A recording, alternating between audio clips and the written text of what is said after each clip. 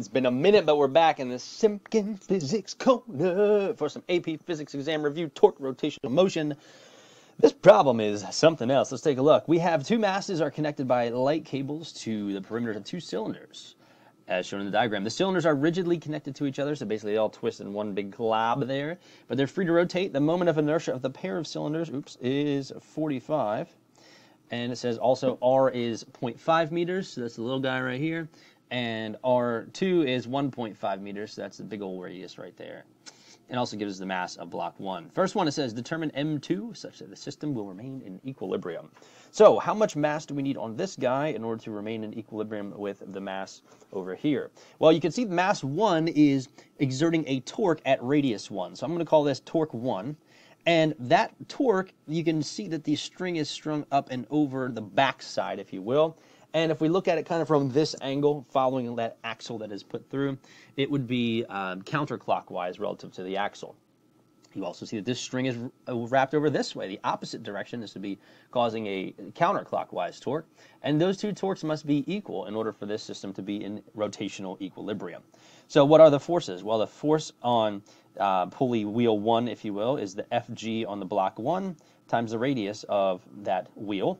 And then it's going to be Fg of block 2 times the radius, the outer radius, if you will. So that's M1GR1 equals M2GR2.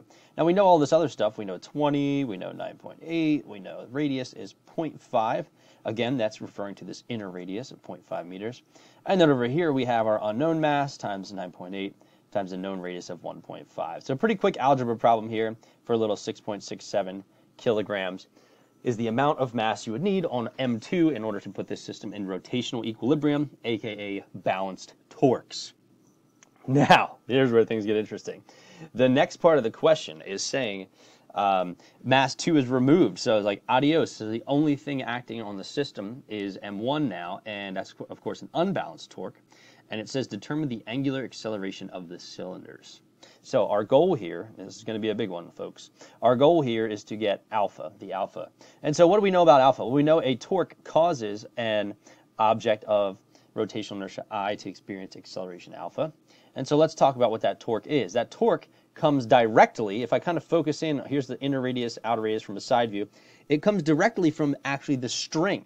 So the force exerting the torque is the force of tension times the inner radius equals the I times the alpha. I rearrange that, I get alpha equals um, FTR1 over, and then let me plug in for I. This I is just going to be a 45, so that's not going to be that complicated. In fact, we know R as well, don't we? I'll just go ahead and plug that in while I'm at it. That's 0.5. But you notice we don't know FT and we don't know alpha, so we kind of get stuck. So what we have to do here is look at the block.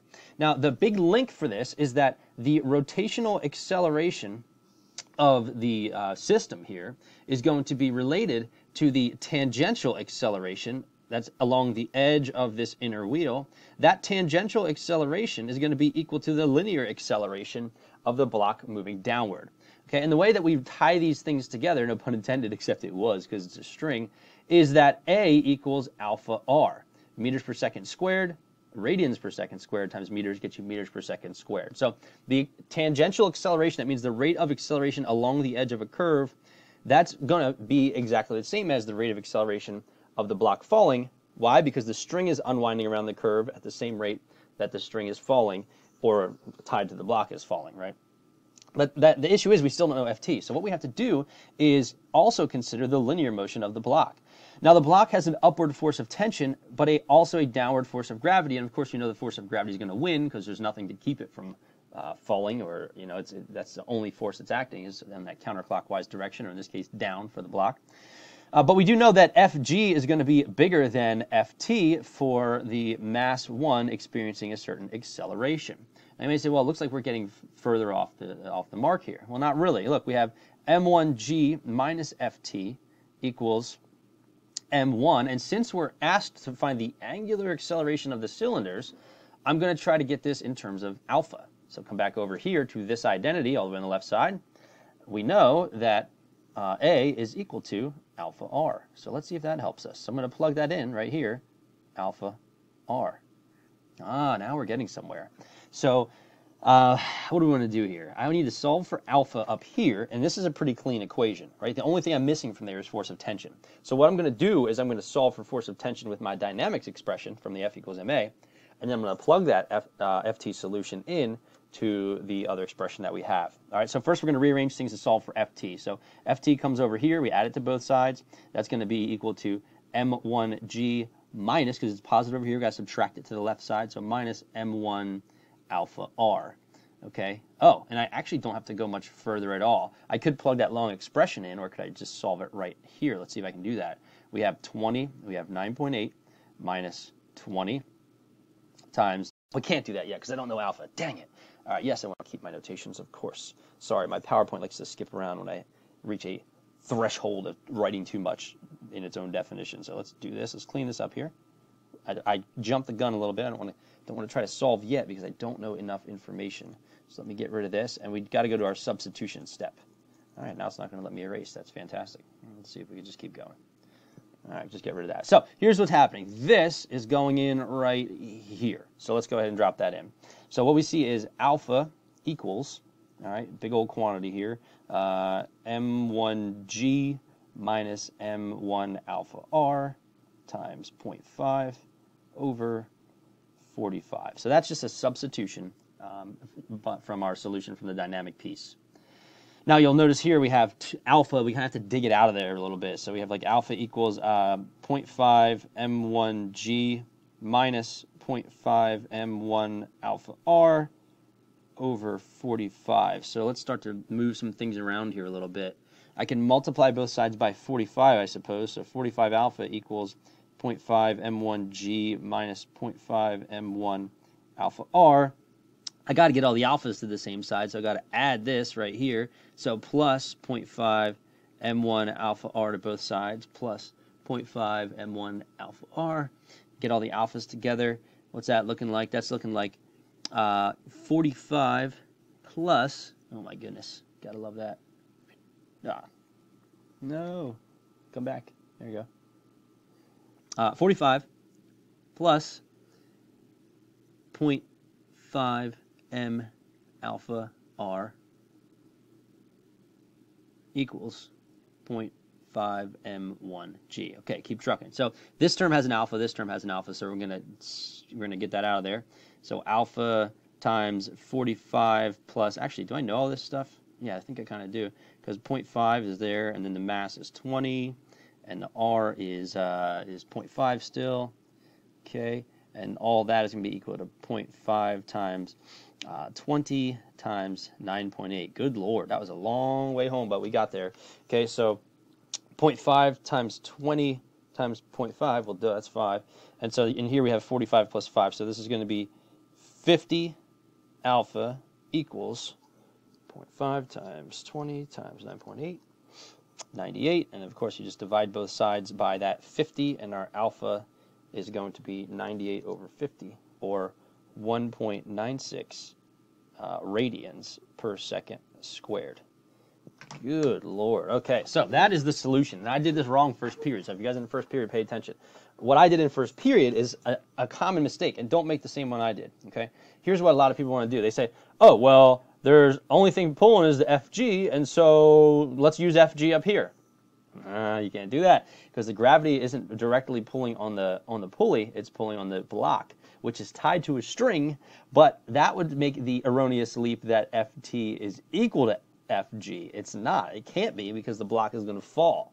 So that's why we had to do a little bit of extra. Oh, sorry, wrong diagram. That's why we had to do a little. Black, this is the wrong solution, by the way. Uh, this is why we had to do a little extra legwork with all of this because the forces on the falling block were not balanced. They can't be because you're accelerating. All right. So finally, uh, determine the tension in the cable. So I'm going to look for my easiest um, equation that has Ft in it. Here it is. All right, and I'm going to take that and I'm just going to basically backtrack my solution for alpha into that. Okay, what does that mean? It means 1.96, that's alpha, equals ft times 0.5 over 45. So if you can algebra good, you can get the answer to that one. So let's see how that goes. 1.96 times 45 divided by 0.5. Looks like our force of tension acting on that is going to be 176.4 newtons. Solid. that wasn't bad at all. And then finally, determine the linear speed of M1 at the time it has descended one meter. So basically here, we're just going to have to uh, do a little kinematic action. And so, man, boy, I'm running out of space here. Uh, the linear speed. So our, our y initial we'll just call uh, zero meters. You know what? I'm not going to call it zero meters because I want up to be positive. So here's what we're going to do. We're going to say, here's my block. It's falling like this. Up is positive. Define our coordinate system there. And that means that y initial is 1 meter, which means y final is 0 meters. It's going to fall 1 meter there.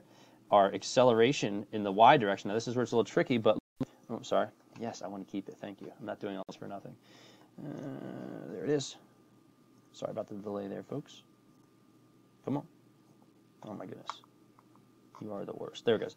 Uh, AY is going to be related to alpha, but not equal to it. We know that A is equal to alpha R. So that number is going to be 1.96 times the radius, which is 0.5.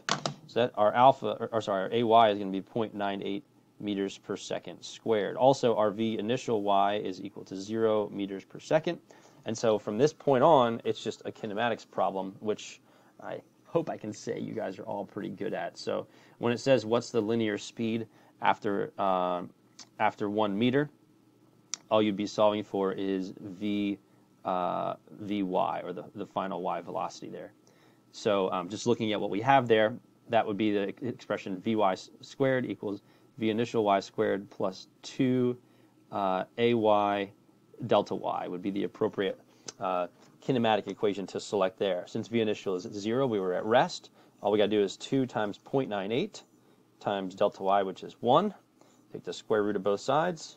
That's a very uninter uninteresting answer of Vy equals 1.4 meters per second. All right, so there you go. There you have it. Sorry I did it wrong the first time. Don't get played like Mr. Simkins. Over here, I was like, oh, hey, look at this. These forces are balanced. Silly Simkins. You can't say that. Uh, so this this initial A uh, solution was wrong because as you can see right here, here's the error, right? I used Fg as the force directly exerted on the pulley. It's not directly exerted on the pulley. Fg causes there to be some tension, but not an equal amount upwards. And so this is the correct solution. Whoa, that looks really crazy right now. But I uh, hope you enjoyed this episode. I'll catch you next time as we get ready for AP Physics 1 exam coming up May 5th. Mr. Simkins in the Simkins Physics Corner. Make sure you like, sub, hit the notification bell, and uh, leave a comment. Maybe uh, leave enough comments. Maybe we'll get the t-shirts going in the merch store. We'll see what happens. Till next time, take it easy.